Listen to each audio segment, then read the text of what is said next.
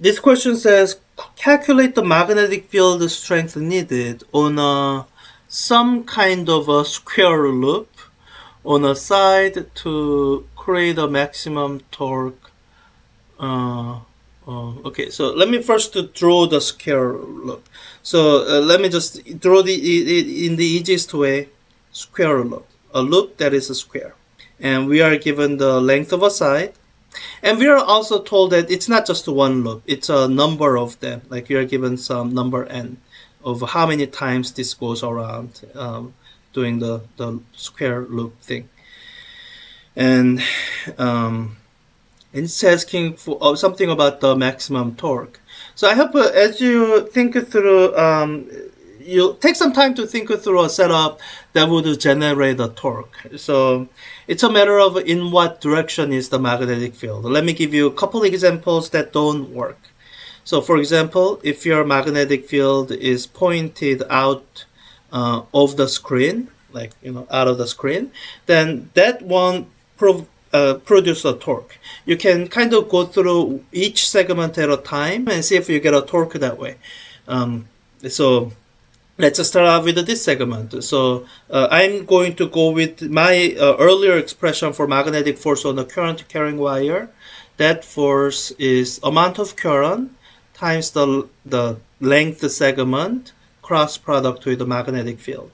So if uh, assume current is flowing uh, counterclockwise, so for the left segment, my L is downward, and I orient it until I can curl my fingers in the direction of magnetic field out of the screen. Then my um, thumb is pointed to the left. So, um, so the uh, uh, and let me do it from my perspective. um, yeah, to the left. So the magnetic force on this segment is pointed this way, and here it's uh, mag you know um, upward. So uh, thumb is to the right. So my magnetic force is pointed this way. Uh, the lower segment again, uh, the finger in the direction of L to the right and oriented so that I can curl my fingers in the direction of magnetic field out of the screen. My thumb points down, so magnetic force this way. And I hope as you draw this, you get, oh, um, this is just gonna kind of make the loop bulge out. It's not gonna cause it to rotate. There's no torque here. So um, this uh, arrangement of magnetic field doesn't produce torque. Okay, back to square one, or back to trying to figure out the direction of magnetic field. Um, another is there another direction that won't work? I think the other two directions will actually both work. So we've considered the magnetic field along a direction perpendicular to the screen. So the other two possible directions are either um, either in a direction like upward, or if not that, in a direction that's uh, uh, horizontal and I think both of them will produce a torque. So let me uh, let me go with the one where magnetic field is upward. So let's imagine this is the setup for the magnetic field.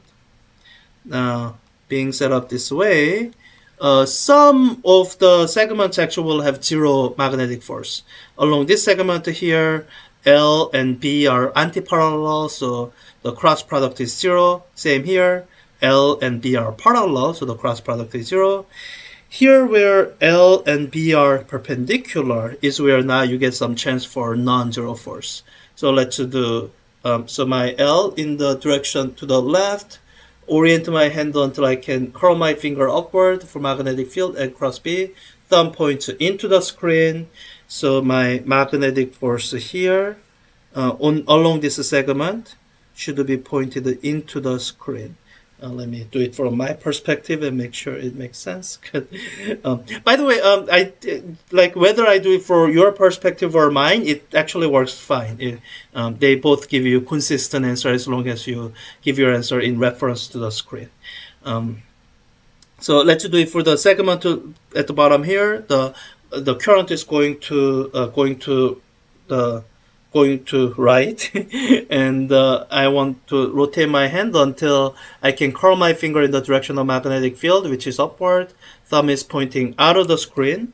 So my magnetic force here is out of screen. And hopefully as you stare at this you get a sense that oh yeah around this line here it's going to tend to uh, so up will be going into screen bottom will be coming out of screen, so it'll tend to rotate this way. Um, so, and if you imagine you are going to the uh, going to the right side of the thing and looking at it, then as you imagine it rotating, let's see. Um, uh, let me do it from my perspective. So I'm doing it from my perspective on the right side of it, looking at it, rotate. Uh, I think it's uh, rotating clockwise. So um, yeah, it's uh, gonna be uh, rotating this way. I think that uh, as viewed from um, this observer here, it's yeah clockwise rotation. Yeah, so so this is the arrangement of magnetic fields we are imagining. And in this setup, uh, so it helps to, I guess, uh, the approach I'm using right now is one where I'm doing everything from scratch. Your textbook actually did uh, drive, should have derived the formula for magnetic torque on a current carrying loop. There's a formula that makes things a lot simpler. Um, but you can also do it from scratch. So this is my axis of rotation. I have my lever arm here.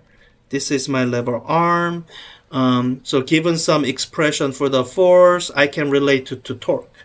The magnetic torque is going to be the lever arm cross product with the force.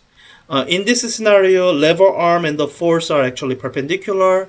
So for the magnitude of this thing, I can say to the R, which will be L over 2, you know, half of the length, times um, the magnitude of force, which will be given by this here. Uh, current times length times the magnetic field. Um, and L and B were perpendicular, so cross product simplifies there as well. So here, um, so that's the magnetic torque due to only one of the two pairs. And if I write out the expression for the other pair, it's going to be the exact same expression. So for the uh, for the net torque, what you need is basically twice of this thing. So that will cancel out that 2 and give me uh, L times ILB. Let me simplify it a little bit. I say L twice.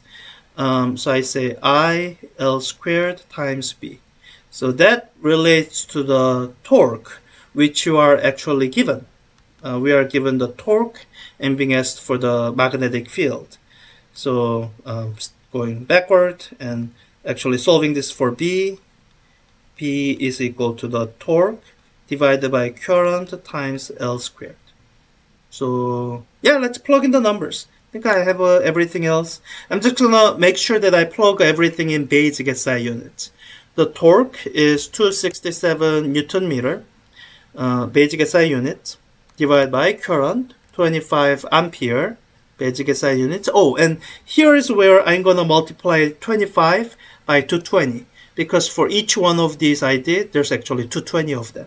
So 220 times 25. Um, and then I need the L squared. So there, the uh, 19 centimeters is 0.19 meter squared.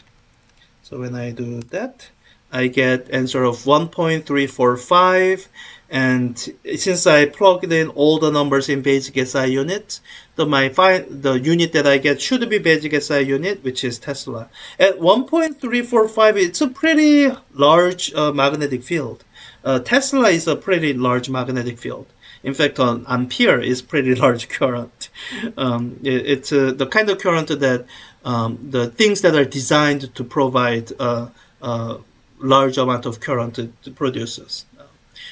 So, like if you are pulling a, an ampere out of normal, like a double A battery, you are drawing a lot of current. Um, so, so yeah, that's the answer. Uh, oh, and the, the simpler way, what it amounts to is this is the formula that you are going to see in the textbook, um, which is the magnetic torque is given by what's called um, what's called uh, is it called the magnetic dipole moment? No. Um, well, um, M cross B. Um, this might be magnetic dipole moment. the way this relates to the quantities that are here is this M is the current times area as a vector. And this actually works with the uh, area of any shape. It could be a circular thing uh, that uh, has this magnetic moment. I, I, think that is the right term. And you can see it here. The way I arrange the terms here, this is basically my M here. Um, the current times L squared is the area of the square and the magnetic field. So, so you could use this uh, formula, skip all the you know analysis I went through to try to get torque uh, due to a magnetic force on a current carrying loop. Uh, but what I want you to demonstrate here is that um, uh, this well, I don't know if uh, it's easy to derive the general formula, but you can at least do enough the work for a simple geometry like a square to actually derive the formula yourself or at least to get to a level that reminds you of the formula that applies in more general cases.